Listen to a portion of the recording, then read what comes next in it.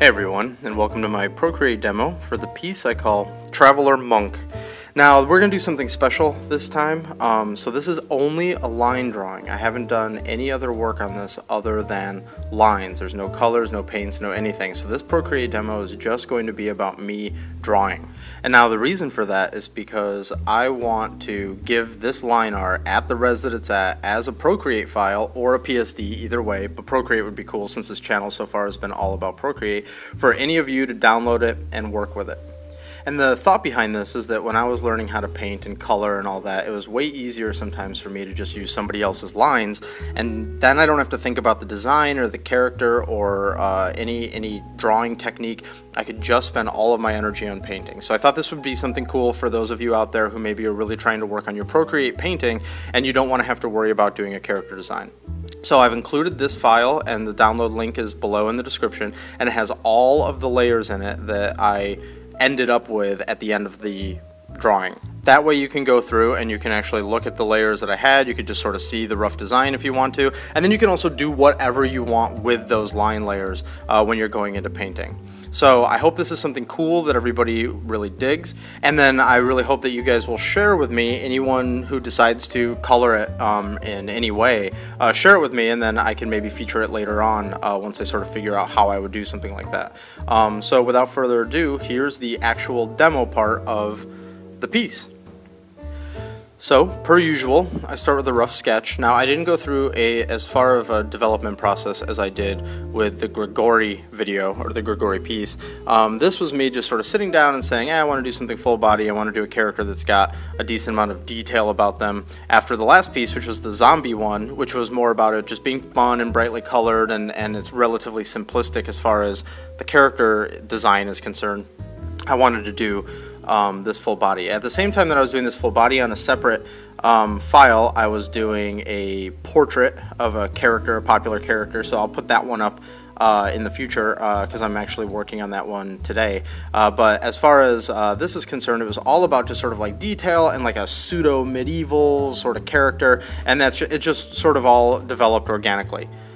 And my son, when the piece was done, he kept asking me where the guy in his stomach was, and I couldn't for the life of me figure out what the hell he was talking about. And then it finally dawned on me that lately my son's been watching a lot of the original Ninja Turtles cartoon, and I realized how much this character actually does kind of look like Krang's big bodysuit. And he was basically asking where Krang was in the suit, um, which was pretty funny. So now I feel like I'm obligated to uh, draw that thing at some point.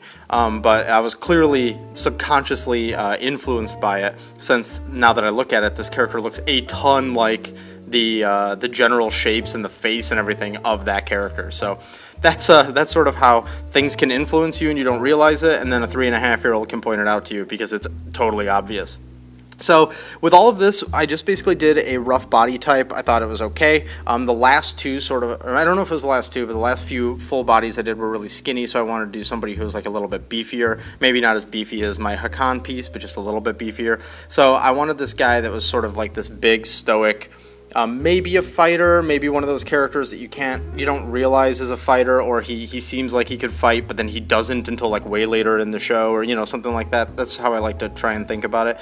So um, I just really wanted to layer on like a bunch of junk on this character. So that's sort of that's sort of the entire thought process behind it originally. And then I just wanted to pick a couple of opportunities to do something unique, like this cowl thing that's on his head with the bandana over it. I just thought was kind of fun and something that I don't traditionally do. Um, so yeah, that's that's sort of the entire thought process behind designing this guy. So I take some opportunities here to zoom in on spots. Um, I don't know if the resolution is going to hold up. I only worked at this one at like 8 inches by 12 inches. That was the size of the piece. It's at 300 DPI, but that's still a relatively small canvas when you're trying to blow things up for like 1080p like this but um, but I think it'll it'll hold enough so that you can at least see what I'm doing um, so per usual I'm using my fat pencil that again I get a lot of people asking about the brushes if you go back to my piece my video for the piece Palmas Mit Mayo you'll see um, me break down my brushes. I've never changed those brushes since I did that, and they're not even custom brushes anyways. They're really just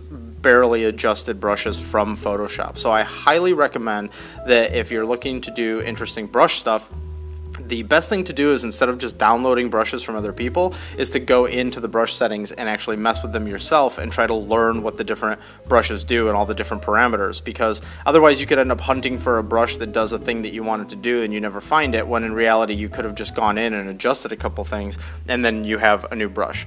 That said, I know it's fun to download brushes and try out different things, um, but I'm just not that guy. I'm not the guy that you're going to be downloading cool brushes from because I very rarely use uh, custom brushes.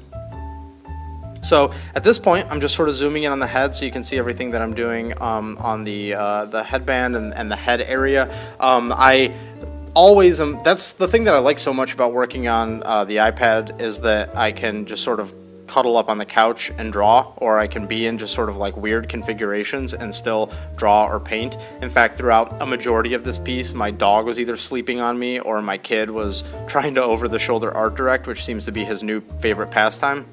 So there's times where like you'll see me really jack something up while I'm drawing it, which is sort of cool that it captures all of that because you get to see that like it's not always a linear process. Sometimes I'll draw like a hand or a finger and then I'll work on something else because my time's being divided. And then when I come back to it, I'm like, what the hell was I thinking on that hand? That hand looks like shit. And then I'll go back and redraw the hand or something. I think if you go back a little bit, you can see on the headband there, I really struggled with the headband. And sometimes you don't even know where that kind of a struggle comes from. It just seems to come out of nowhere. And you're like, why can I not draw this thing that I've drawn like a million of, right? Like if you, if you draw fantasy stuff or you draw stuff for video games or comic books, you've probably drawn a million headbands, and then right then and there, I just couldn't for whatever reason. So, pretty interesting. Art is like that. Art can really, uh, art can be a really fickle thing at times. So now here I've just sort of pulled out um, so that we can see the general, uh, what's what's happening generally throughout the piece. Which right now we're working on the his right sort of armband thing that's like either part of his backpack that's holding it on or maybe it's just part of his outfit. Who can tell really? Um, so uh, that's just me going in and doing that sort of uh, banding that ribbed banding that, that we see a lot in fantasy art. Um, and then uh, going through and adding some thick lines. You'll see at times this is something that I've always struggled with in digital art is uh, because you're zooming in a lot in order to get what you really want you lose sort of the grander scheme of things. And that's rarely you're rarely losing the grander scheme of things as far as composition goes but definitely as far as line weight i've lost i lose my train of thought a lot when i'm working digitally. In fact i would say if i rewind about nine years or so ago that was probably my biggest challenge was maintaining the right type of line quality that i wanted throughout the entire piece. So even even now you'll see me on this piece put in a bunch of stuff that's maybe of a certain line thickness or a certain line quality, and then I'll go back later and add like a much bolder line around certain things, and that's just because you know you when you pull out and you really get to digest it, you see like oh that section's not separated out that well, or I could really improve the blocking if I if I gave this part like a, a, thicker outline. So you'll see that as a recurring theme throughout this piece that I go back through. Like everything you're seeing right now on these pouches, I later go back and put a thicker line around the entire pouch region, you could say. So right now just adding the stitching in the front, and now we're jumping back over to his right sleeve, and we're basically replicating what happened on his left sleeve over on his right sleeve.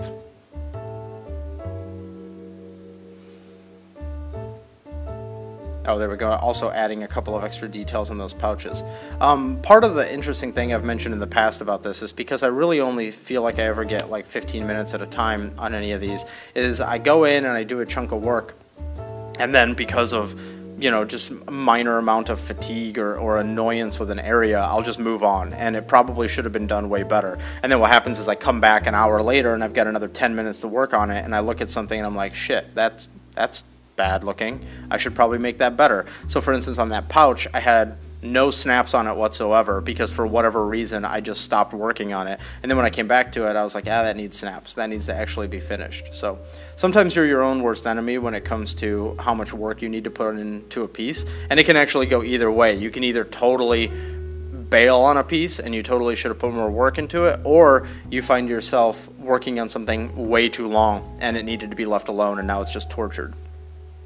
So here we're just finishing up his uh, tabard, I guess, the lower part of like his tabard or his loin, his loin piece.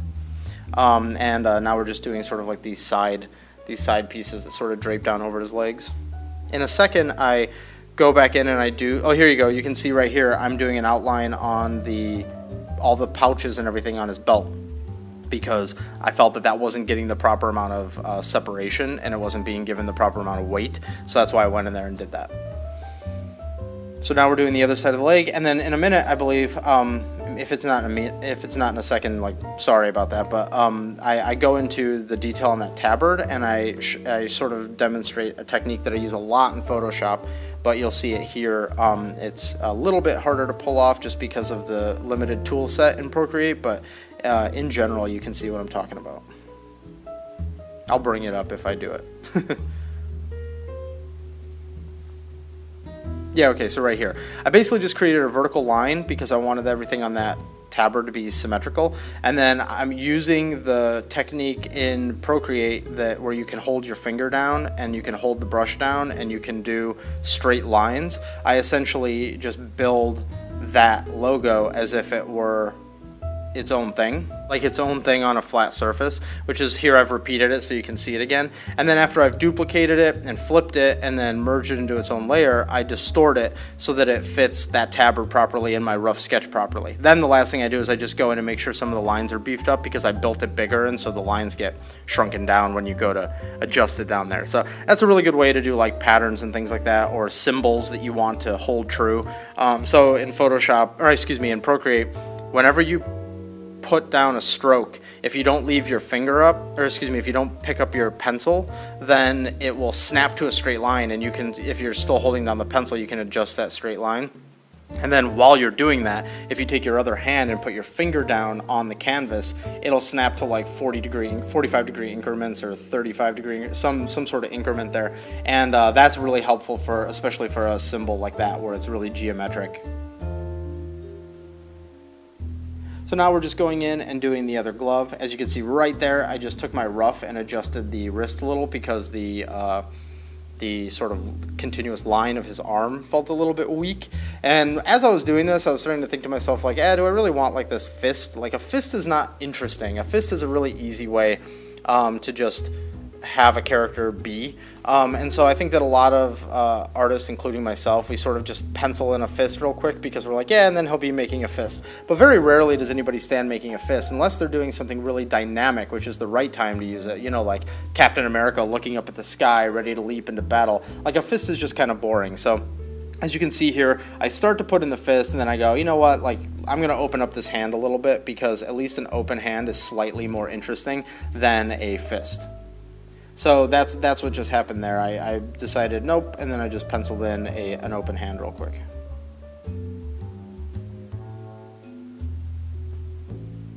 It's just sort of a more relaxed uh, look and it makes more sense and it's just kind of neater to look at than something that's just basically like a big block. That said, though, a fist looks awesome when it's like in a more interesting perspective. If a character is like punching the screen or making a fist because they're grabbing like a big lever or something as they're pulling it, and the lever's like in your face as far as the camera's concerned, like that's a cool that's a cool fist. But just a character standing there making a fist is kind of meh. Which is why also when you look at that other hand, like, like look at his other hand now compared to the hand that's more in the foreground, and it's it's just really boring now, especially because it's almost perfectly in profile. Um, so th that's just that's uh, that's what I'm talking about there. So you'll see when I get to that hand, I open it up too. I think that hand when I open it up also is what I was referencing earlier, where I totally screw up the uh, finger and it just looks like shit, and then I go back in later and fix it.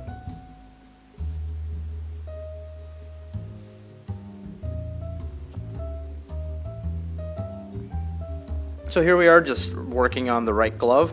I wanted to give him just a very small amount of asymmetry. So the asymmetry is in his pouches and the asymmetry is in the fact that one glove is rolled up and the other glove is not. And that's it. Um, I wanted him, you know, you can tell you can tell a lot about a character in character design. Um, that's obvious, but then you can even do it in much more subtle ways. So I like to think that with this character, the fact that he doesn't have much asymmetry means that he's a fairly stable character among some of the other character design choices that were made across here. He sort of fits into that mold of the the stoic, reliable muscle type character, and so um, I wanted to make sure that uh, I still gave him a little bit of interest. Like for instance, his pouches probably wouldn't be 100% symmetrical because over time he's carried different things in different pouches. And then with the glove thing, maybe there's a reason one glove's up and one glove's down. Maybe it's his way of expressing himself, but at least it's a minor way to give him just a little bit more visual interest and make him feel a little more interesting.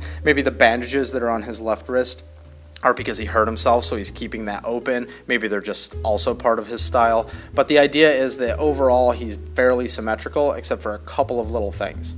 So we just got done um, drawing in uh, most of the his right boot. Now we're just sort of finishing off the toe area. Um, I didn't continue to zoom in on this because uh, I do post these videos at 1080p, so hopefully they're still very visible. You can totally see what's going on when you watch it, uh, especially on a bigger screen. Um, but but yeah. So now we are on to the left knee pad. Um, and I believe I just go right through and get this left leg done. Let's see.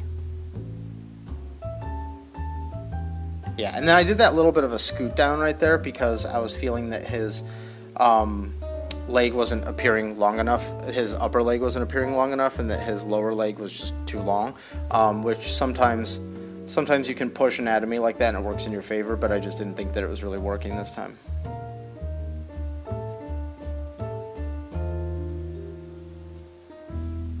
Now, I've talked about it before. Oh, here we go with me thickening a section so you can see some of that happening across the illustration, going around the shoulder right there, and then... So, I've, I've talked about this before, um, but uh, I want to mention it again. The way that I use layers um, which I'll be getting to a Procreate demo where I show all of this very, very soon.